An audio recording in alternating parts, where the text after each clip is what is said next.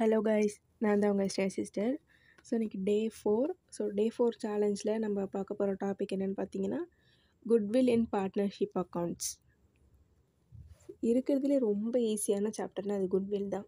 ரொம்ப ரொம்ப ஈஸியான டாப்பிக்கு ஸோ வாங்க அதில் என்னென்ன தியரி கொஷின் வந்து இம்பார்ட்டன்ட் பார்ப்போம். What is super profit so இது ரொம்ப இம்பார்ட்டன்ட் கொஷின் இது.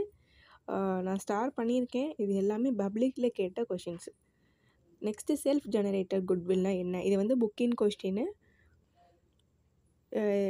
கேட்க வாய்ப்பு இருக்குது ஸோ படிச்சுக்கோங்க.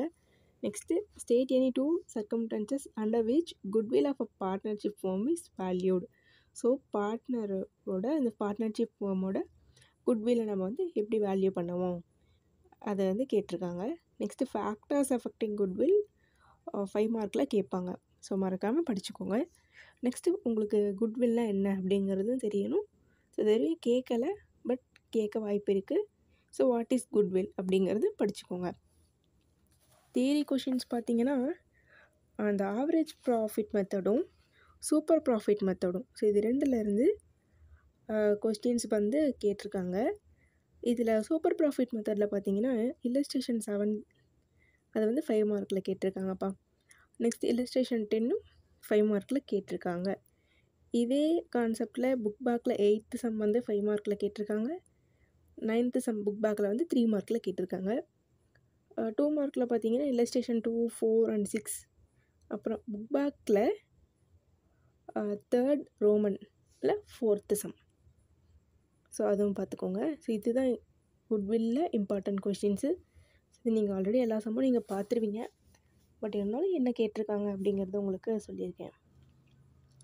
நெக்ஸ்ட்டு நம்ம இதை கூடயே என்ன கவர் பண்ண போகிறோம்னா ரேஷியோ அனாலிசிஸ் அந்த சாப்டர் இப்போ தான் நீங்கள் செகண்ட் மிட்டம் எக்ஸாமுக்கு பார்த்துருப்பீங்க கரெக்டாக ஸோ அதில் ஒரே ஒரு ரேஷியோ தான் லிக்விடிட்டி ரேஷியோ அதில் கரண்ட் ரேஷியோ எப்படி கண்டுபிடிக்கிறது? குயிக் ரேஷியோ எப்படி கண்டுபிடிக்கிறது? மொத்தமே இதில் ஆறு சம் தான் இருக்குது இல்லஸ்ட்ரேஷனில் ஒன் டூ த்ரீ புக் பேக்கில் ஒன் டூ த்ரீ ஸோ மொத்தம் ஆறு சம் தான் இருக்குது ஒன்றும் இல்லை கரண்ட் அசட்னா என்ன? கரண்ட் லைப்ரரிஸ்னால் என்ன? அதை தெரிஞ்சுக்கிட்டிங்கன்னா நீங்களே சம் போட்டுடலாம். தியரி பார்த்தீங்கன்னா quick ratio very very important state two limitations of ratio analysis so இது வந்து என்னென்னா டூ லிமிட்டேஷனுங்கிறது கொஸ்டின்லேயே இருக்குது ஸோ டூ மார்க்கில் கேட்பாங்க. Next objectives of ratio analysis three mark அப்புறம் அட்வான்டேஜஸ் ஆஃப் ரேஷியோ அனாலிசிஸ் வந்து த்ரீ மார்க்கில் கேட்டிருக்காங்கப்பா.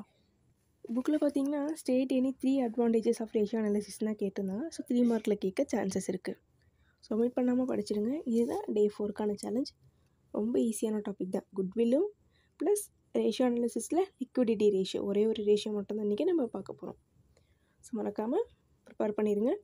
All the best